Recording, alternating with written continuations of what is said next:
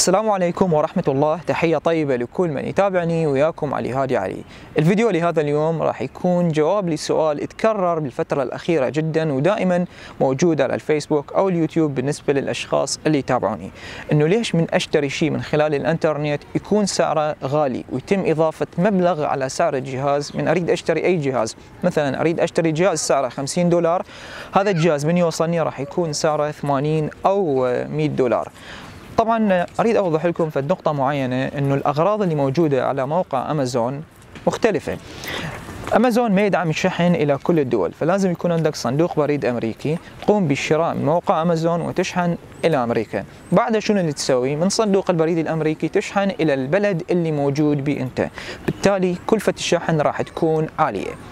أيضا يتم حساب الشحن على أساس الوزن. ممكن يكون الوزن الفعلي أو الوزن الحجمي وباختلاف شركات الشحن اللي تشحن. ونصيحة من تريد تشتري من خلال الإنترنت؟ لا تشتري قطعة واحدة أو قطعتين. اشتري مجموعة أغراض واشحنها بطرد واحد حتى كلفه الشحن تكون أقل.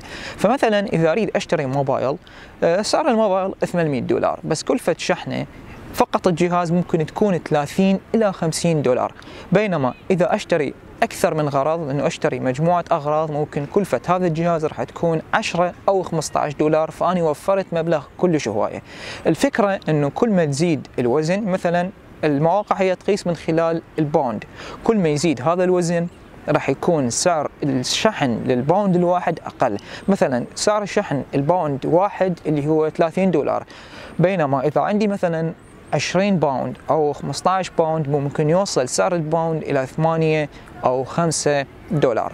فهذه الفكرة اللي حبيت أوضحها لكم وممكن تستخدمون مجموعة كبيرة من مواقع وصناديق الشحن. طبعا موجود في قناتي مجموعة فيديوهات شرحت بها المواقع اللي تنطيك صندوق بريد أمريكي. وأحد هذه المواقع اللي تنطيك صندوق بريد أمريكي هو موقع USGoBuy. هذا الموقع يحتوي على مميزات جدا كبيرة. طبعا التسجيل في الموقع مجاني ما تحتاج إنه تدفع أي مبلغ للموقع. مجرد إنه أنت تسجل في الموقع وراح تحصل على صندوق بريد امريكي هذا الصندوق راح يعطيك 60 يوم مجانا إنه تخزن الأغراض يعني أي طرد يوصل راح يبقى في في الصندوق لمدة 60 يوم بعدها يتم استقطاع مبلغ معين. الرابط الخاص بالموقع راح تشوفوه موجود أسفل وصف الفيديو وشرح الموقع أيضا موجود. آه هذه هي الفكرة اللي حبيت أوضحها إنه ليش من أشتري من خلال الإنترنت يكون سعر الغرض مرتفع. أيضا أكو نقطة معينة حبيت أركز عليها. بالنسبة للدول اللي ماكو إلها وكالات رسمية لشركة معينة على سبيل المثال مثلا جهاز ال HTC Vive VR هذا الجهاز اللي يكون الطرد مالته أو الكرتون يعني بحجم كبير. هذا الجهاز مثلا ماكو له وكالة رسمية بالعراق.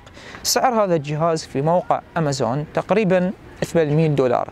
بس ممكن تشوفه بالعراق بسعر 1500 أو 1200 أو 1300 دولار. طيب ليش هذا الاختلاف؟ الاختلاف لأنه ماكو وكالة رسمية لشركة HTC Vive VR بالعراق. بالتالي راح يتم شرائه بشكل منفصل. فأحسب كلفة الشحن أنه جهاز حجمه كبير جدا. فهذه النقطة اللي حبيت أوضحها وإن شاء الله وضحت هذه النقطة أنه ليش الأغراض يكون سعرها منخفض. وصلت إلى نهاية هذا الفيديو. كالعادة في الختام لا يسعني القول إلا السلام والسلام عليكم ورحمة الله.